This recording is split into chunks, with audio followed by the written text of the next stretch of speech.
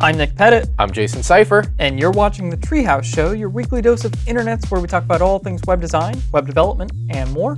For a free month of Treehouse, head on over to teamtreehouse.com slash show to join Nick and I over on Treehouse. In this episode of the Treehouse Show, we'll be talking about pixels, web components, the hamburger menu, and more. Let's check it out.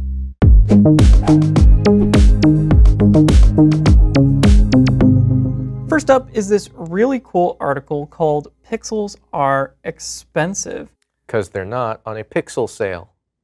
That's right. Actually, pixels are expensive is referring to the idea that pixels are kind of expensive to render in the browser. And it's a breakdown of how a browser actually renders things and somewhat of a reaction to an article called What Every Front End Developer Should Know About Web Page Rendering, which I believe we covered on the show previously. And this person thinks that it missed out on some crucial points. So while this article is pretty good, it missed a couple things. So, for example, step one is recalculating style.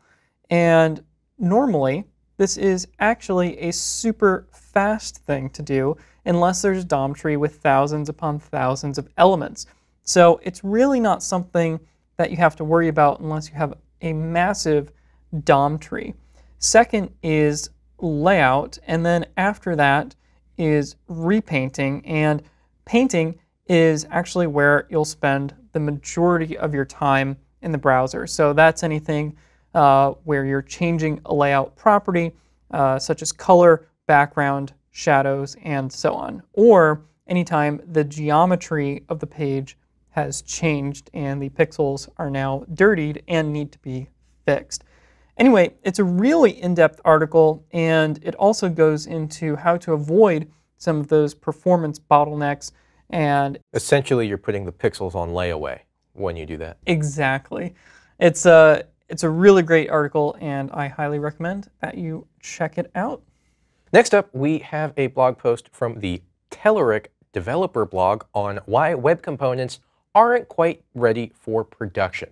Now, web components are just landing in Chrome 36, so you might be saying, hey, what do you mean they're not ready? They're out. They're in Chrome, they're Yeah, in my browser. They're in Chrome, they're in my browser, works on my machine. I'm using them. All my websites, web components. Hold your horses there, buddy. Let's get into what's going on. So, browser support is obviously an issue with web components. Not everything is supported besides Chrome 36. So, uh, br- browsers that have partial support are Firefox, but there are no web components at all in Safari or Internet Explorer. So, why not just use a polyfill? Because the Polymer team, Polymer is a project we've gone over previously on the Treehouse show, so make sure you check out all previous episodes. Uh, the Polymer team maintains a complete set of polyfills, collectively known as the platform. Now, those implement a polyfill for web components, but there can be some issues when working with these polyfills. What are those issues? Well, let's take a look at one of them, which is actually pretty interesting. So web components implement something called the shadow DOM. This is going to be a different DOM than what is being shown on the page and is specific to each individual web component. So what happens when you have a shadow DOM where there is something like an H1 tag that is within this shadow DOM? What does the query selector all return if this is not on the page? Well, in a browser where that is not supported, it returns zero because it is not yet on the page. However, if you are using a polyfill, well, this could be just a, another element. So if you ran query selector all.length, it should return one, but if you add Polymer's platform.js, this actually works. So this is actually pretty complicated when implemented. You can see this very large regular expression to check all sorts of different CSS comments and things like that. Wow, that doesn't look regular at all. And so we can go on and see why this stuff matters. Why does it matter? Well, not everything is supported in all of the different browsers. A great example is styling inside and outside of a Shadow DOM. As we can see in one browser, it looks completely different than in another. So there hasn't been any sort of standardization on what this behavior completely does yet. So everybody is just sort of guessing at the moment and nothing has been totally agreed upon. Uh, next, polyfills are also pretty big. Uh, the polyfill library comes in at 151K of JavaScript, which, as we've talked about before, that can be pretty big for mobile browsers and especially slow connections. Anyway, I've already talked about this a lot. Make sure to check it out in the show notes, which you can get to at youtube.com slash gotreehouse. You can also search for us on iTunes, we're the Treehouse Show, and don't forget to join us for a 30-day free trial at teamtreehouse.com slash show. Something we've talked about on the show previously is the hamburger Hamburger menu. menu. Yep, Yeah. hamburger menu. You know, it's pretty rare that we talk about it, though. I say we talk about it a medium amount. Well done. The uh, you may be wondering where the hamburger menu actually came from because it sort of exploded in popularity. It's this little three-line menu that you see on all sorts of websites and iPhone and Android apps. But where did it actually originate from? A Well, restaurant in New York in the year 1900. There is this wonderful post on the Evernote blog called The Origin of the Hamburger Icon. And it turns out that this guy named Norm Cox is the one that invented it for the Xerox Star user interface, which of course is well known for being created at Xerox PARC and inspiring what eventually became uh, Macintosh. And so here's a video that you can watch. Actually, I don't think this is a video, but there's a link to this really great video that sort of demonstrates where this hamburger icon came from. And something that was sort of funny that Norm Cox said when he was emailed about it is that they used to call it the air vent to keep the window cool, and it made the icon a little bit more memorable as a result. But anyway, uh, pretty cool article. Uh, it's very short, definitely worth checking out, definitely worth watching that video to see where the heck that icon actually came from. Air vent, not as tasty as a hamburger. It's not. Next up, we have a project called Papa Parse. This is a JavaScript CSV parser, quote, for big boys and girls. However, if you are not a big boy or girl, you can still use this library. Now, implementing a CSV parser, you might think, is just as easy as calling split on a string in JavaScript. But if you have done that in any language, you know it can be a lot more complicated than that because there are just tons of different edge cases. Now, this library, Papa Parse, makes it very, very easy to convert CSV, comma separated values, into JSON. You can parse local CSV files. Uh, this works in Node and I believe in the browser as well.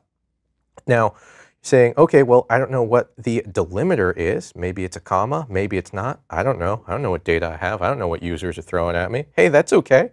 Let Papa Parse parse it for you, and and you'll be fine. You'll be you'll be good to go. Or you can tell it what the delimiter delimiter is. Doesn't matter. You have options. Hey, I don't even have a file to parse. All right, cool.